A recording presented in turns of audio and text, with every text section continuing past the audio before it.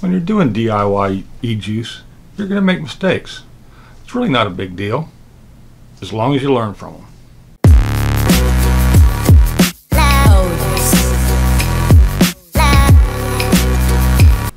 Now here in the United States, in the Northeast, it's December and it is starting to get cold and winter is upon us. So I usually tend to switch over and start doing coffees and bakery goods and things like that to smooth on and transition into the winter. I also like to do a nice fruity summery type drink or something like that when I get the blast to remind me that summer is on the way and I don't have to stick to the humdrum cold wintry savory stuff. So I was working on a juice, a pretty fruity juice with uh, strawberries and bananas and coconut and pineapple and some rum and some other things. So I mixed the juice up and it tasted really funny. It tasted horrible. I let it steep for a week and I tried it again and it tasted horrible. Had this strange little taste. I really didn't taste too much pineapple. So what I figured was it was the rum. So I made another batch. I dropped the rum a little bit and I raised the pineapple a little bit. It was horrible again. So I let it steep again for a week. Disgusting. Really funny. Horrible. I use Flavor Arts fruit flavorings a lot.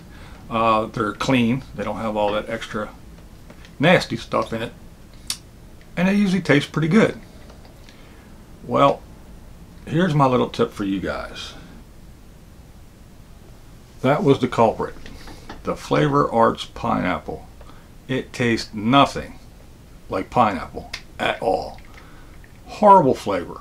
So I guess just what the lesson is, and the tip is, is when you're first starting out and you say, oh, well, I'm a big strawberry fan, so I'm going to buy me a big old jug of strawberry flavoring.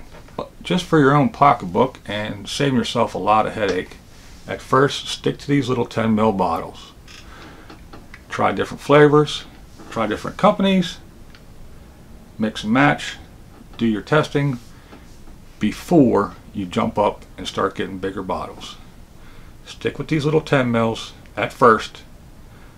That way when, you, like me, you find out that the company that you get stuff from and you find it to be your favorite and they have good flavors, you just might run into one that's absolutely horrible.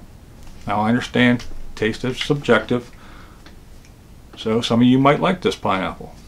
Me personally, can't stand it. I'll never buy it again. Luckily, it's just a little 10 ml bottle. So I just thought I'd share that little tip that uh, you're going to make mistakes when you're just starting out. You're experimenting. You're trying something new. Mistakes aren't bad. Just try to keep them small mistakes. This is BlindViews. Thanks for watching. And like always, that's the way I see it. What we do here is go back, back, back, back, back, back, back, back.